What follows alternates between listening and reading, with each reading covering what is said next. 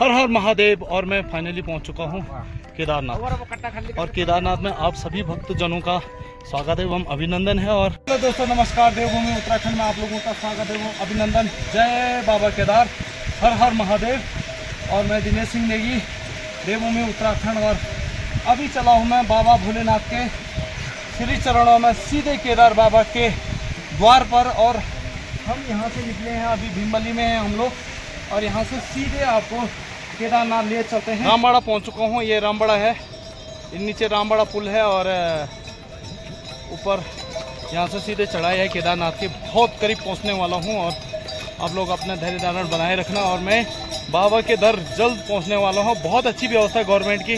रास्ते साफ़ है, क्लीन है और घोड़े खच्चर जो ये जा रहे हैं राशन लेकर के, ये अब केदार, केदारनाथ में यात्रा व्यवस्थाओं के लिए जा रहे हैं और यात्रियों के जो ज़रूरतमंद सामान है उनको लेकर के बाबा केदार के दर पे जा रहे हैं।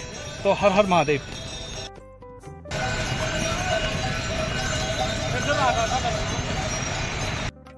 दोस्तों फाइनली मैं रामबाड़ा पहुँच चुका हूँ और बहुत अच्छा लग रहा है।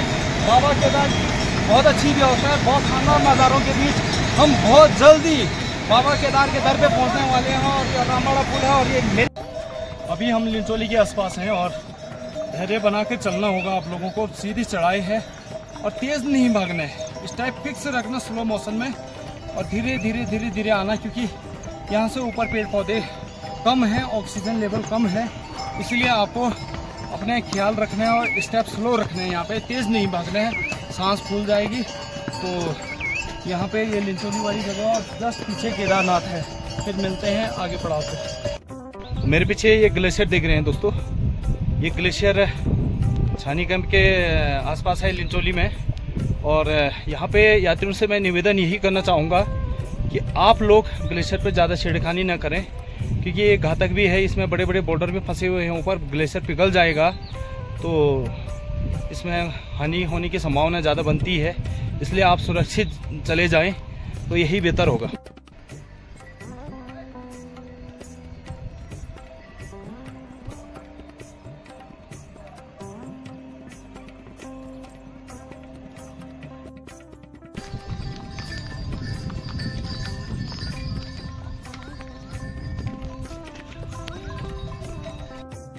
हर हर महादेव और मैं फाइनली पहुँच चुका हूँ केदारनाथ। और केदारनाथ में आप सभी भक्तजनों का स्वागत एवं अभिनंदन है और जैसे ही केदारनाथ की धरती पे पहुँचा हूँ मेरी जो रास्ते की थकान है ना वो सारी थकान यहाँ से मिट चुका है और मैं फाइनली अपने गंतव्य तक भगवान श्री केदार के पास पहुँच चुका हूँ और अगले छः महीने तक मैं यहीं पर रहूँगा।